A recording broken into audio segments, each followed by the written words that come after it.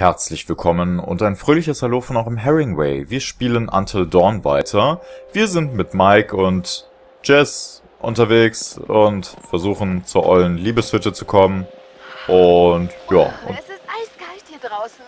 Na, da kann ich Abhilfe schaffen. Und wie willst du das anstellen? Äh, ich hätte da ein paar Ideen.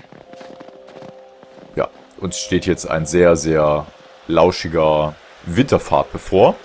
Hier ist wohl alles ein bisschen runtergekommen. Irgendwie schade. Privatgrundstück, Washington Anwesen. Na gut, das wussten wir ja bereits. So ein wenig. Aber naja. Erstaunlich, was hier aber alles auf diesem Berg so rumsteht, ne? Also, wie wir es hier so gebaut haben, das wird bestimmt Schweinegeld gekostet haben, aber naja. Emily ist so dumm, wie sie aussieht, wenn sie wirklich denkt, sie könnte sich zwischen uns beide drängen. Wenn wir Glück haben, folgt sie uns hier raus und hat einen Unfall mit einem Bären. Äh, Ja, hm, gute Frage, ne? Wie bist du denn M gegenüber eingestellt, mein Gutester? Ich glaube, bei dir sieht sie rot. Ist das so? Übelste Eifersucht. Ihr Pech. Tja. Tja, was soll ich dazu sagen? Also, ich weiß ja nicht. Irgendwie scheint er ja noch an ihr zu hängen, aber irgendwie auch nicht. Und, also an Emily meine ich jetzt. Von daher äh, wirkt das alles ein bisschen strange, aber nun gut. Er kann sich halt nicht so richtig entscheiden, glaube ich. Im Endeffekt mag er beide Frauen. Vermutlich. Hm. Das Teil braucht wohl Strom oder sowas. Wollte Josh nicht was mit einem Generator? Ja, er wollte, dass wir den Generator wieder anwerfen. Na gut. Sollte ja im Bereich des Möglichen liegen. Irgendwo hier wird der olle Generator ja schon sein. Vermutlich. Eventuell ja schon in dieser Hey Hütte. Mike, hast du bald den Generator oder was?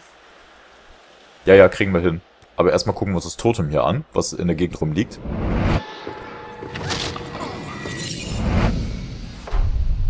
Ein Gefahrtotem. War das Ashley? Generator! Okay, klar.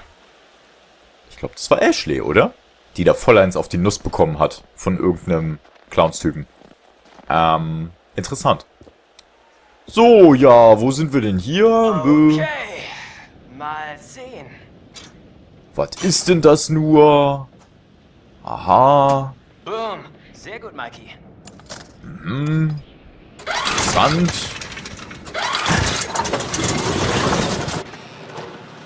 Das ist mal gut du gewesen. bist echt. Ja, finde ich auch. Und deswegen gucke ich ein bisschen selbstverliebt. Aus der Gegend. In die Gegend. Ich gucke herum.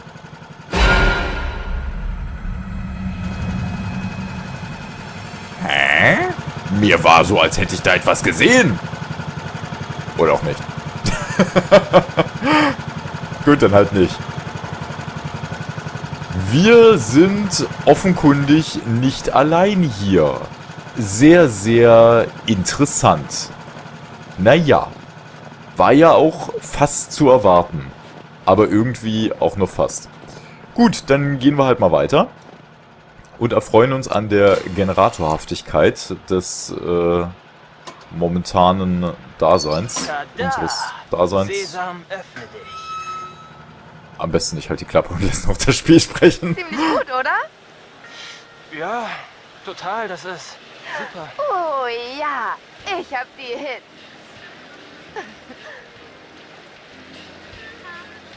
Vor allem hat sie einen tollen Hüftschwung. Das muss man ihr lassen. Aber naja. Schöne malerische Gegend. Bist du schon gespannt? Du siehst nicht gespannt aus. Ich bin sowas von gespannt, Süße. Das ist wie ein kleines Abenteuer. Ein Sexurlaub. Boah. Boah, Mann, das ist ja also besser als in meinen kühnsten Träumen. Aber nun gut. Erstmal hinkommen, erst die Arbeit, dann das Vergnügen quasi. Dup, die dup, die dup. Das wird schon. Absperrband. Absperrband? Wegen Hannah und Beth. Wieso räumen die das nicht weg? Tja, die Ermittlungen wurden nie abgeschlossen. Okay, jetzt krieg ich Gänsehaut.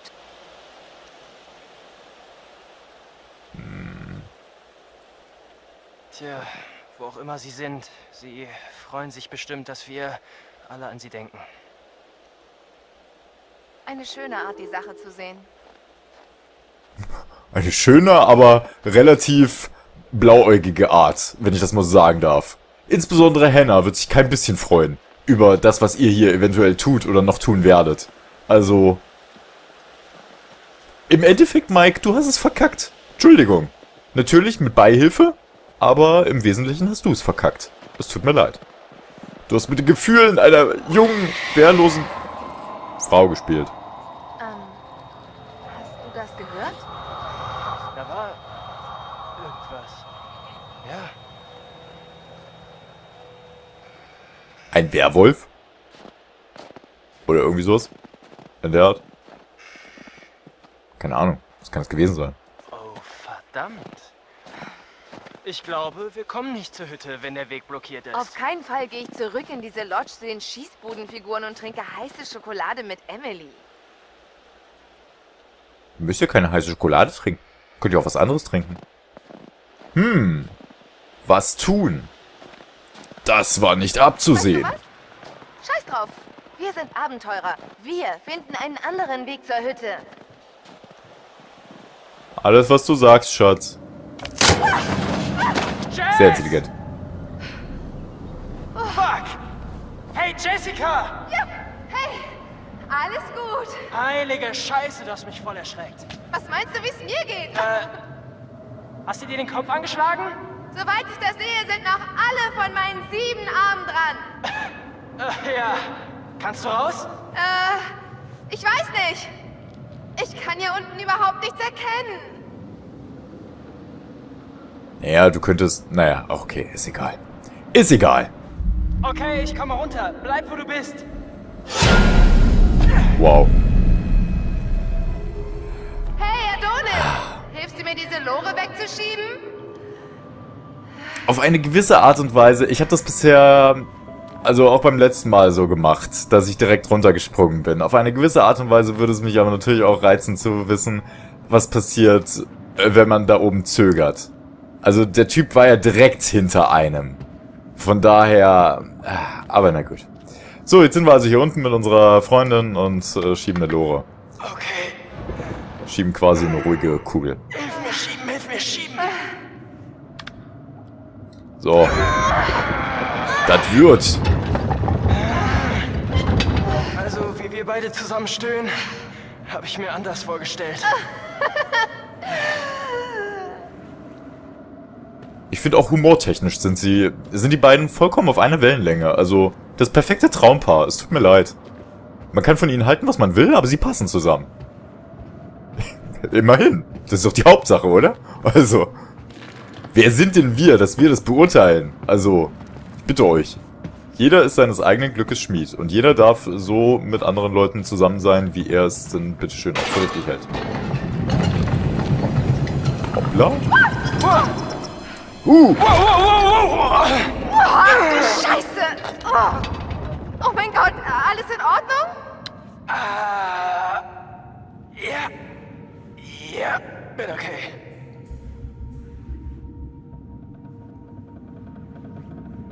das war Knäppchen. Ein bisschen. Zugegebenermaßen. Oh Himmel, hier empfange ich eine Menge Vibes. Und zwar nur die richtig gruseligen. Kann ich was tun, damit du die Gänsehaut los wirst? Spar dir das für die Hütte, Poser. Hier links geht es hoch. Aber was ist das hier noch für ein Weg? Wenn man schon mal hier ist, dann kann man sich auch gleichzeitig noch ein bisschen umgucken, ne? Noch ein Totem. So wie es aussieht.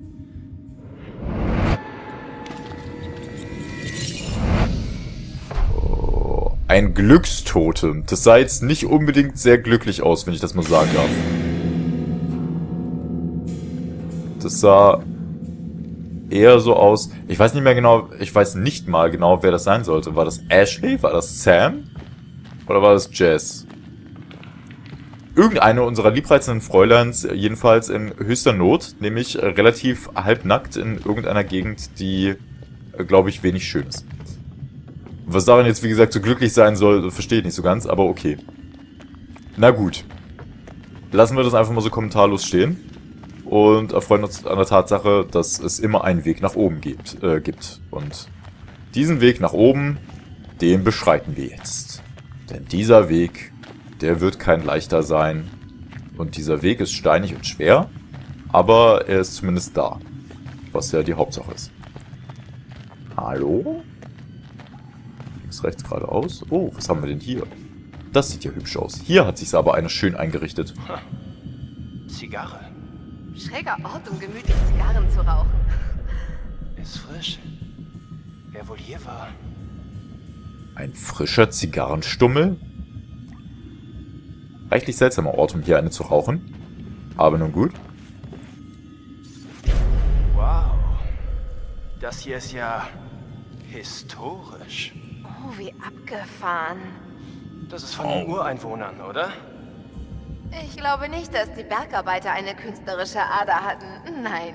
Nein, genau. Das ist wie eine Art Schrein oder sowas. Ein Schrein wofür?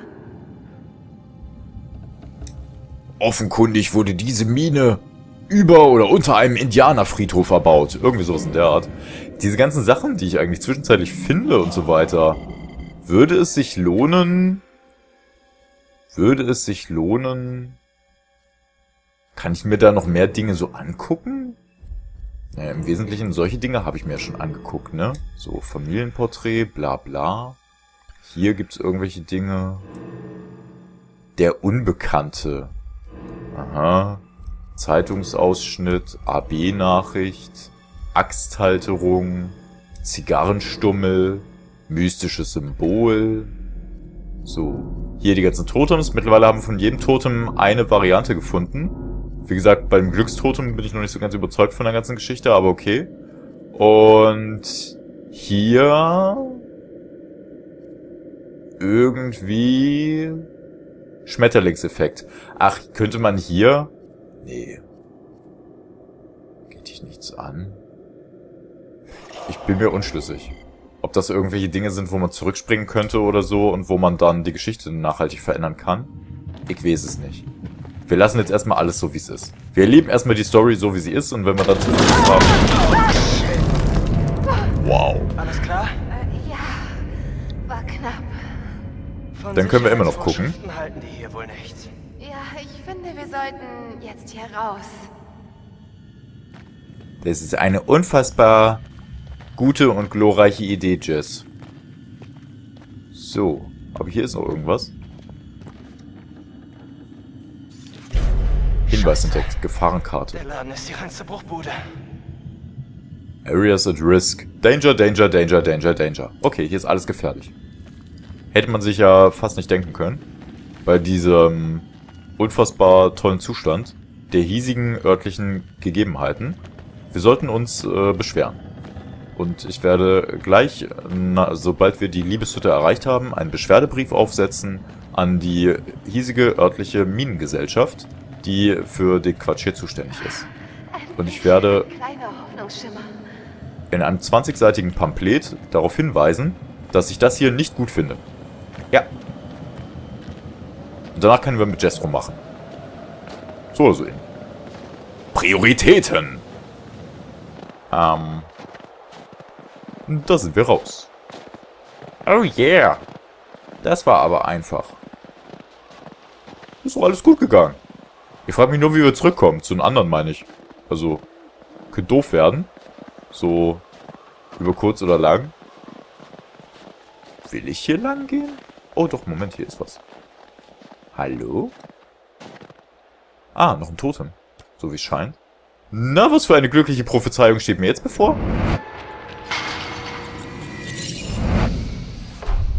Verlusttotem. Wer war das jetzt? Diese Dinger sind auch immer zu kurz. Man kann die sich im Menü nochmal angucken, ich weiß das, aber irgendwie... Es war schon wieder eine Frau. Ashley, Emily, wer auch immer. Jemand ist aus großer Höhe auf einen Gatter gefallen. Und das hat Aua Aua gemacht, glaube ich. Und könnte nicht gesund gewesen sein. Ähm, hier geht's scheinbar nicht weiter. Na gut. Dann halt weiter, ne? Richtung Hütte. Wo ist sie? Die Hütte. Uh, ich leuchte hier übrigens die ganze Zeit heim. Ich leuchte ihr die ganze Zeit heim. Als Josh Hütte gesagt hat, dachte ich schon ans weiße Haus. Warte, bis du die Lincoln Suite siehst. Oh, hast du vor, mir den kleinen Präsidenten zu zeigen? Lust auf einen Flug mit der Air Force One? Okay, okay. Spaß dir für die Wahlkampfrede, Baby. Diese blumigen Metaphern. Mmm, herrlich. Ich zeig dir nicht den kleinen Präsidenten, ich zeig dir den großen Präsidenten. ja, äh, so. Oh, ein Teleskop. Ein Blick auf die Bäume, ein Blick auf die Wolken, ein Blick auf die Hütte. Oh. Wow. Alles klar? Ich habe jemanden bei der Hütte gesehen. What? Okay. Lass mal sehen. Wen hast du gesehen? Wo hast du was gesehen? Was hast du gesehen? Wow. Was war das? Mal davon abgesehen, dass es gar nicht geht. Aber was war das? Hallo? Hilfe! Ich habe Angst. Äh, heimlich vom Eierpunsch genascht, Bay? Wir sind ganz allein hier. Äh, möglich. Ich habe Angst. Nur ein bisschen, aber ich habe Hey, Angst. Jess? Mhm. Bleib dich bei mir, okay? Was ist los? Ach, am Brett steht, dass sich hier oben manchmal Braunbären rumtreiben. Oh, Michael, ich habe eine mega Idee. Was? Los, wir streichen einen Bären. Komm schon, bitte. Komm schon. Äh, lassen wir das mit dem Bären streicheln. Yay. Mackenzie Wolf, dieses mächtige Raubtier, eine wahre Legende unter den Fleischfressern, greift Wapitis, Rentiere, Gnus und alle verwundeten Tiere an, denen es begegnet. In Alberta ist die Jagd auf Wölfe auf Privatgrund gestattet. Glücklicherweise werden die Wolfsbestände hier in Blackfoot Pines stets unter Kontrolle gehalten. Der Grizzlybär. Der Grizzly, ein Allesfresser mit ausgeprägter Vorliebe für Aas, ist generell nicht dafür bekannt, eine Mahlzeit zu verschmähen. Seine bevorzugte Nahrung ist Fisch. Lachs, Barsch, Forelle, aber nicht Hering, weshalb man in der Nähe von Flüssen oder Gebirgsbächen besonders häufig auf das Tier trifft. Obwohl Grizzlybären als extrem gefährlich gelten, sind Angriffe auf Menschen eher selten. Der Rocky Mountain Wapiti. Der prächtige Wapiti durchstreift diese Lande schon seit tausenden von Jahren. Mann, ist dieses Tier alt. Obwohl sie zumeist eher sanftmütige Geschöpfe sind, sind die dominanten Männchen, die Bullen, dafür bekannt, ihre Herden vehement gegen Eindringlinge zu verteidigen, was zu harten Auseinandersetzungen mit Kopfstößen und heftigen Angriffen führen kann. Gut zu wissen. Also Wölfe, Bären und Gnus. Das ist schön. Äh, gehen wir mal weiter. Richtung Hütte. Bitte nach Ihnen, Mademoiselle. Die dumm. Wundervoll. Gut, gleich sind wir da. Und gleich gibt's irgendwas oder so. Eventuell bekommen wir gleich unsere Belohnung von unserem lieben Weib, das uns holderweise hier begleitet. Ähm. Wow. Vorsicht, Spatzenhirn.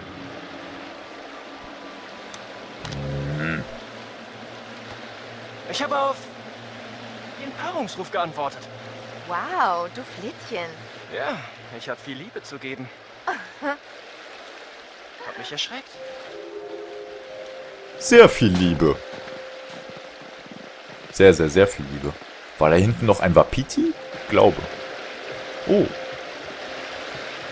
Finde das ja wirklich sehr malerisch. Diese Naturgewalt an sich. Der Fluss.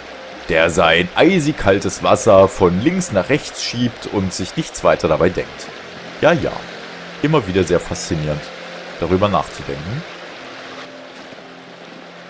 Und so geht es also weiter hier auf diesem Weg.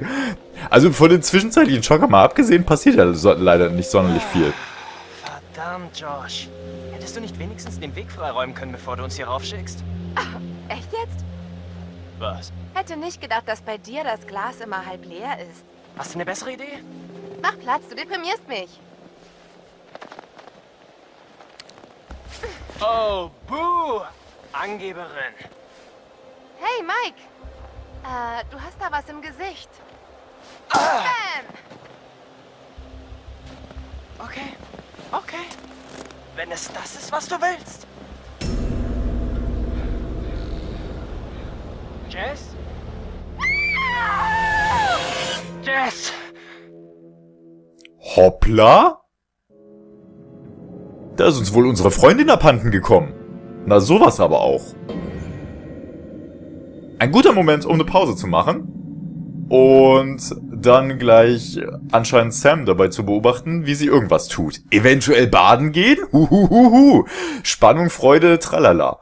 Ähm, gut, okay, die Geschichte nimmt dann Fahrt auf. Und wir haben jetzt übrigens gleich den Moment erreicht, wo es für mich blind wird. Also, ja, ab dann kann ich dann wahrscheinlich auch aufhören mit blöden Witzen und dergleichen, weil dann werde ich die ganze Zeit hier nur sitzen, wie ein kleines Häufchen Elend und irgendwie vor mich hinzettern und mir so denken, scheiße, warum spiele ich sowas? Scheiße, warum spiele ich sowas?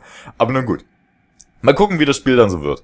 Für den Moment soll es dann erstmal wieder gewesen sein und ich sag dann einfach mal wieder Tschö mit Ö und hoffentlich bis ganz, ganz bald.